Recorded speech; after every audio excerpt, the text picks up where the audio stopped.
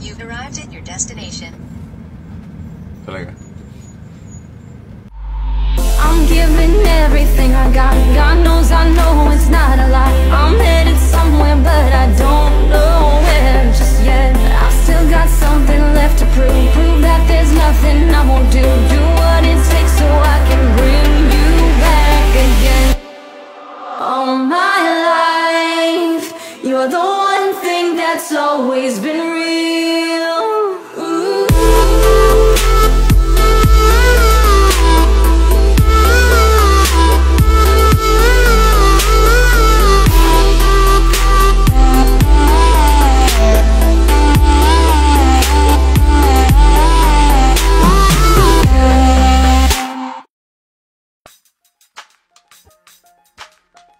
I mean, ideas flow.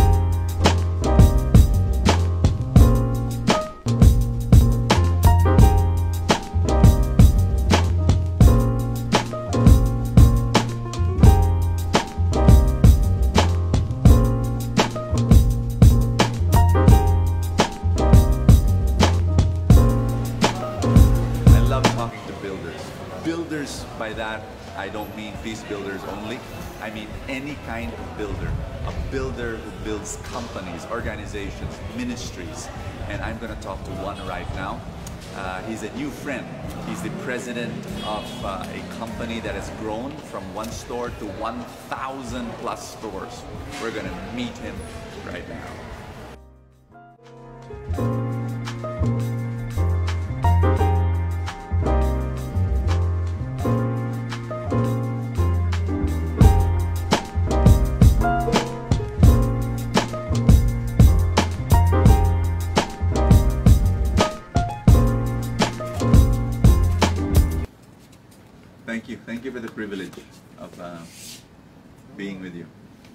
Our honor. And everybody's honor here.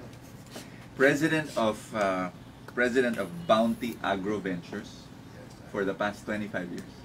No, I started here 2002. Who told me 25 years? Okay. I was assigned in Kanlubang during my Foods time. Nakita naman ng industry yun na lumalaki na yung production ng sugar outside the Philippines. Yes. So sugar is a commodity. When supply goes up, the prices will go down. Yes. At siguro ito, generations na ng mga sindero. Paano hindi nila pinansin yun? Lilipas to, nalugi sila, di ba? Why don't what I, I find that in other industries also, you know, we, we kind of like stay put with where we are. Yes. They cannot accept the fact Yes. Na- in denial. Oh, in denial talaga. And to the point, makita mo yung kwan, lalo sa Negros, di ba? Yes. Ito mga billionaires in the past na they waited for the time that they went bankrupt. Oh, Foreclose God. lahat ng properties. Oh, man. Kasi sa Negros, mas malungkot. Yes. Socialized there. Some of them turned prostitutes to maintain their lifestyle. Oh. Terrible. Yung dun sa Kanlubang, very close sa akin, sa Keita ko. Yeah. Sabi ko, ang mga yulo, napaka, they're so landed, they're Yes. so wealthy. yeah, yeah. Yung mga farms namin sa Pure Foods na bili, were foreclosed properties from the youth. Oh, I see. So sabi ko, hindi dapat mangyari. I talked to the owners. Sabi ko, Of, of Bounty Agro. You're, sabi ko- you're, you're, you saw already that there's going to be like a tidal wave coming in. eh. sabi ko, let's preserve your wealth. Yes. Yung poultry may not be, is a sunset industry. Yes. So let's not wait for the time na whatever we earned the past so many years, Yeah. We just go down the drain. Amazing foresight. Let's invest in other industries. Now, we Wow. should be able to walk away Yeah. in a position to walk away from this industry anytime. Woo! So, anong gagawin natin? So, yun yung pala. Let's try yung kasi we put up our own rotisserie stores. Yeah. Sa- Kasi kung at the time, ang calculation namin, we need 1,000 stores to completely replace yung income stream from Oh, the gosh. integration. Wow. So, wala namang rotisserie chain na 1,000 Yeah. dito sa Pilipinas. None. Andok, bali, about 200, 100 Woo. plus. But at least yun on, on paper, yan yung equivalent yan. Wow. If we walk away from this industry tomorrow, pag may 1,000 stores natin, tuloy yung income stream natin. Oh, gosh. Sige. That's uh, amazing. let's try. First pilot namin, 10 stores. Failure talaga. Ah. 10 stores lahat sa Visayas. Uh, Hindi namin magamit ang brand namin yes. because we will be competing with our customers. So, tin- tinago Oo namin yan. nga, ano? Oo, yeah. Lahat ng mga managers namin, executive, didn't like, like that idea. Oh. Mga boss, nakalabanan natin yung Yeah. customer natin. Yeah. Sabi ko, look at this this way. Nasaan ang loyalty ng customer natin? Yeah. Eventually. Pag may murang manok from Thailand, Malaysia, or wherever, Yeah. will they be loyal to us? No. They won't. They will be loyal to price. Yes. So, if we want to preserve yung ating livelihood, you better cooperate. So, Wow. tinago, may manok. Go. 10 stores yan, ha? Rojas, Ilo. Basta Visayas. Yes. Bacolod, Cebu, Tacloban, Ormoc. All in all, trial namin 2 months. November 2007 we started, November, December, yun na yung peak eh, Yes. The industry. So by January, we evaluate, evaluated. 8 out of 10 stores Failed. Ah, fail. Talagang lugi. Ang break-even was about 30 heads. Yeah. Break-even, less than 10 heads. Oh, gosh. So, ang conclusion, Yeah. ayaw talaga ng Pilipino ng kwan siguro. Oven roasted. They wanted charcoal grill. Ayun. So, that was the initial Yeah, yeah. conclusion. But, sabi, 10 stores yan, inikot ko. January, inikot ko.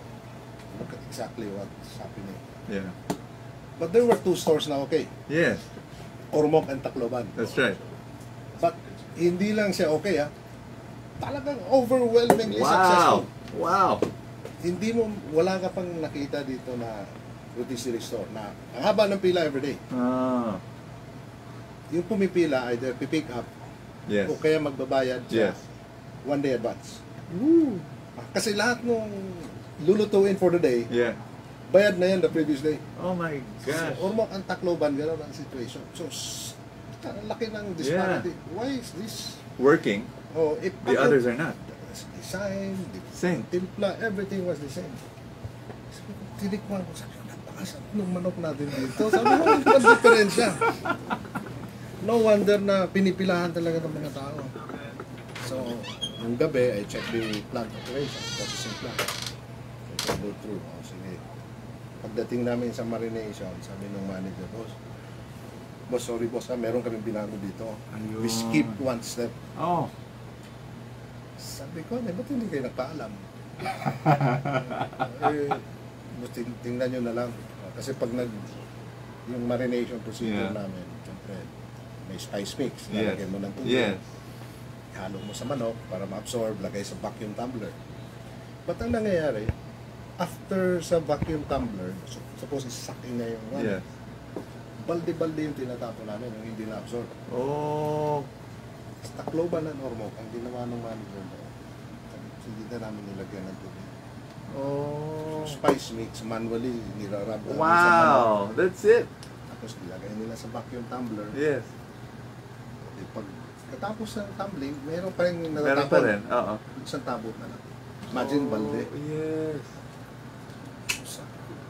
My goodness, so that, fall, that night, tinawagan ko Yeah. lahat ng mga, Do the same. oo, sabi niya, just keep one in that process. Yeah. Beautiful. Beautiful. Kuha na yung sales doon. So by mid-2008, January ako nag-audit. Kuha na We have a winning formula. Oh my Let's gosh. expand as fast as we can. Woo!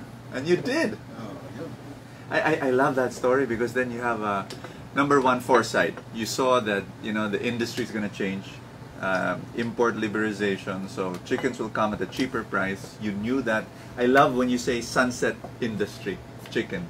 You know, for for someone to recognize that, to say we are in a decline, this industry is going. We need to do something. So your your ability to to do that. 10, 10 stores, eight failed. Um, I also liked how how that uh, how that guy in Ormoc and Tacloban. Tacloban he had the audacity Yes. to to, to without even asking permission from you. Maybe he trusted you. Maybe he knew you. He said, "Hindi magagalit si boss. Mag-eksperimento ako." Yeah, and he did, and you you made it happen. He's still there. He's now the branch manager of Cebu. yung reward. Kasi from Cebu siya. Oh my gosh. Balik ka sa hometown. Wonderful. And so from 10 stores, ch- you change the the what they call that the process of making a chicken, and then how how many years to to re- to hit a thousand stores? Well, kami by 2008, we're almost 100 by the end of the year. Wow. 2009, our second year, we were the market leader. Oh wow. Parang nasa 2000, 2009, I think nasa 500 stores na agad kami nun. we were opening practically one store a day. Oh gosh. Thank you. Thank you for this little conversation. I learned so much.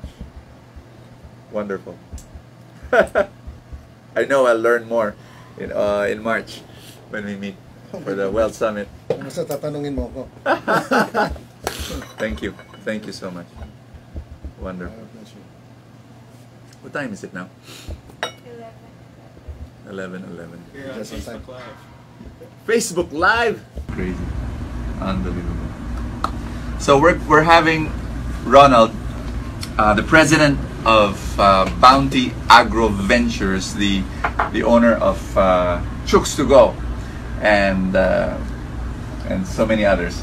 Uh, we're, we're, getting him, and he's gonna, he's gonna be with me. I'm gonna interview him. We're, I'm gonna pick his brains even more for the Wealth Summit in March 3, 4, and 5 in PICC. It's to be an amazing time. And uh, if you're an entrepreneur, you want to build your business more, you've got to go there. Wealth Summit, March 3, 4, and 5. For more information, go to www.trulyrichclub.com slash wealth summit. Why don't you talk about your new web series? Oh yeah, um, we're also going to feature a part of this interview for uh, hashtag backstage. Hashtag backstage is our new web series. We're bringing it out also in Facebook and as well as in YouTube. Uh, stick around and find out more about it. It's going to be awesome. Mr. Ronald, do you have any message to any young entrepreneurs that want to start a new business? See you. See you. PICC. See you in PICC. Very good. Thank you. See you guys. Here, for giving us time. Kuha ka pa. Now you have another appointment. Yeah, yeah. Another. We're getting hundreds of comments. I love Chooks to go. Yeah, we we have uh, 1.8 million followers in Facebook. So, whenever every time we do a Facebook live, thousands. Uh, Maybe a thousand in this week.